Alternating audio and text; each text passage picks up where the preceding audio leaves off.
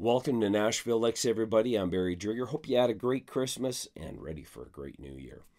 Uh, today we're going to do something a little bit different. I'm in my studio and I got the trusty Martin HD 28, which you've seen in some of the videos. And I'm going to record an acoustic track for a song that my wife wants to sing, Lacy J. Dalton's Black Coffee. It's a great song. You should check it out. It's from uh, mid to late 80s, I think.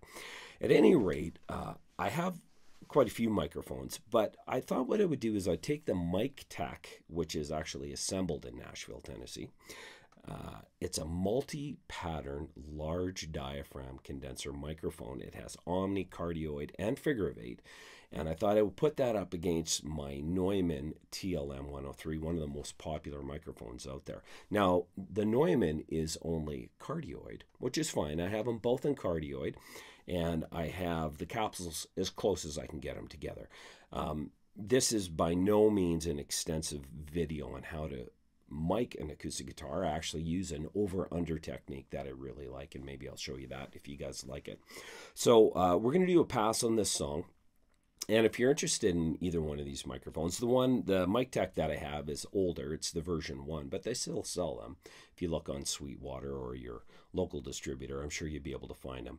Um, so I'm going to sit down here with Pro Tools. I got it rocking, ready to go. And if you'd like, shoot me an email. My email's in the description, and I'll send you the raw tracks if you would like to hear the difference, if you do hear a difference between these two mics. I mean, the TLM I don't know what it retails for in the states, but I'd say probably $13.99 somewhere around there, and the MikTek retails for $8.99. So the MikTek's a little bit cheaper, but it gives you the ability to have those other patterns, and that's really handy if you just want to get together and capture everybody, or if you want to do some mid side, whatever the case. So I hope you enjoy this. We'll see you on the other side.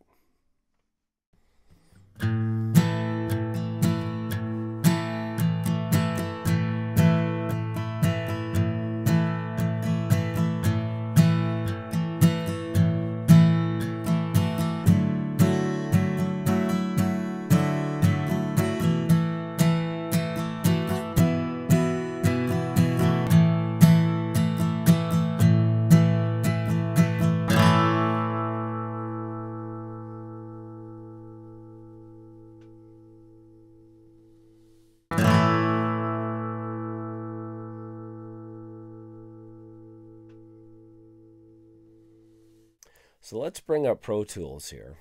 And what we have here is the 103 on top and then the C7. And the first thing that I would like to do, I haven't even listened to these yet. One nice thing in Pro Tools, I've got a great little plug-in here by Quiet Art called Defaulter. And I haven't really figured it out all that much. There's lots of videos on YouTube, I imagine, but I'm going to do that. And I'm going to get this thing to analyze that one track. So basically, makes it a little bit louder. And I'm going to click gain the C7 up as well. Now the C7, as you can tell, didn't need to be brought up as much as the 103. But when I did uh, set the preamps in my Apollo, I noticed that the uh, C7 was a little bit hotter. So, whatever. So let's have a listen here. First thing we're going to do is we are going to listen to the uh, 103. Here we go.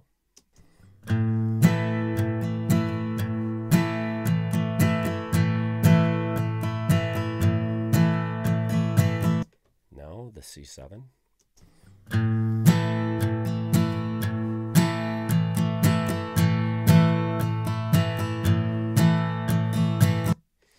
One thing that I noticed with that C7 is it had a lot more high end. I noticed that the 103 did have more of a, a mid range sort of punch to it, which is great in some situations. Uh, but I found a lot of times on the acoustic guitar, the C7 did great. Now, I also need to note that I didn't use a high pass filter on either one of these mics.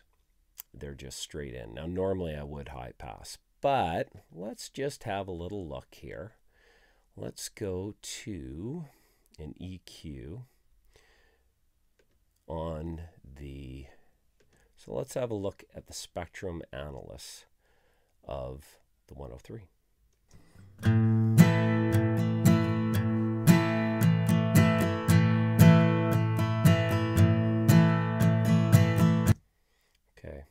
So we're going to put this. Is there a freeze on here? I think there is. Let's see what that does.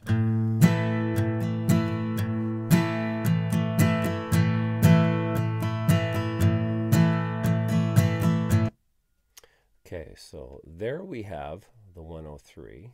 Let's just pin that in place. And then we're going to take that analyzer, we're going to throw it down on the C7. And let's see, yeah, so that's still there. So that's nice.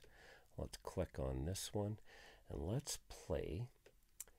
Oop, what did I do here? Yeah, this is the 103. So let's put the 103 over here. And then we're going to put the C7 uh, maybe over here.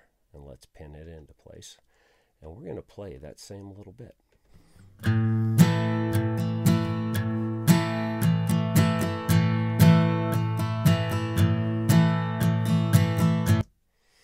So now that I've played them both, on the left hand side we have the 10, or sorry, the C7, and on the right we have the 103.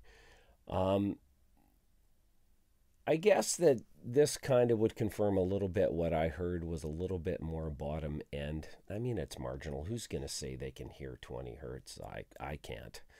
But it does show that it was uh, having a little bit more on the 103 in terms of bottom end than the than the C7. The C7 seems to peak a little bit more up around mm, 7436 hertz and about 11,000 hertz.